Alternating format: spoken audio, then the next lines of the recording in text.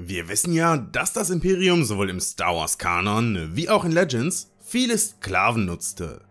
Warum genau das Imperium auf Sklaven zurückgriff und was es mit diesen tat, erfahrt ihr heute in diesem Video. Zu Zeiten der Republik war die Versklavung von Wesen in jeglicher Form durch republikanische Gesetze verboten. Als dann das Imperium die Macht übernahm, wurden diese Gesetze jedoch schnell geändert denn das Imperium hatte mehrere Probleme, die es mit der Versklavung von anderen Wesen relativ einfach beheben konnte. Zunächst einmal setzte das Imperium auf militärische Stärke, um an der Macht zu bleiben und Aufstände zu verhindern. Dafür mussten nicht nur viele Truppen rekrutiert, sondern auch Raumschiffe und Fahrzeuge gebaut werden. Und für diesen Bau eigneten sich Sklaven perfekt. Sie waren sehr preisgünstig, da man für sie nur die grundlegendsten Nahrungsmittel bereitstellen musste und man konnte sie zwingen, wesentlich länger zu arbeiten als jeden anderen, den man für die Arbeit bezahlt hätte.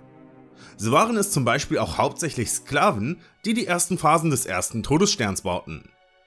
Für den Bau eines solchen Kriegsgerätes benötigte das Imperium aber auch viele verschiedene Materialien, die abgebaut und verarbeitet werden mussten, und auch hierzu eigneten sich Sklaven sehr gut. Dabei kommt dann aber die Frage auf, ob das Imperium keine Angst davor hatte, schlecht in der Öffentlichkeit dazustehen, wenn sie die Sklaverei neu einführten und Millionen von Wesen zur Arbeit zwangen.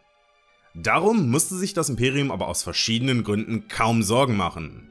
Meist wurden sowieso Mitglieder solcher Spezies versklavt, die eher in den äußeren Bereichen der Galaxis lebten und nicht jene, die auf den wichtigen Planeten weiter im Inneren der Galaxis wohnten.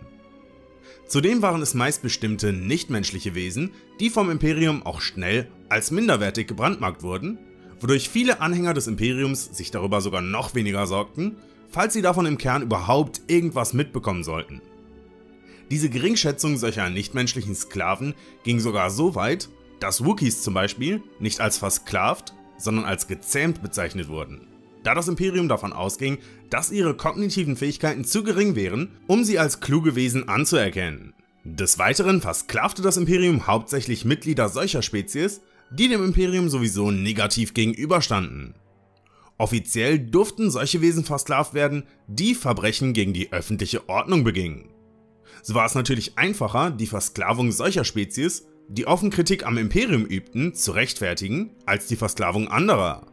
Das hatte dann natürlich auch noch den Vorteil, dass die Wesen, die schon vom Imperium versklavt waren, es wesentlich schwerer hatten, gegen das Imperium zu kämpfen, als wenn sie nicht versklavt wären.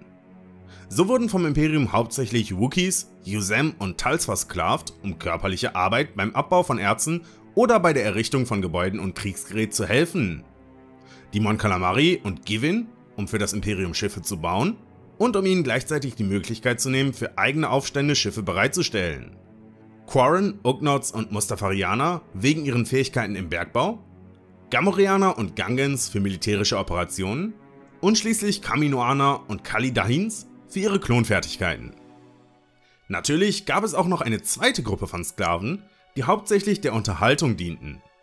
Allerdings wurden diese, wenn überhaupt, nur von manchen hochrangigen imperialen Offizieren gekauft.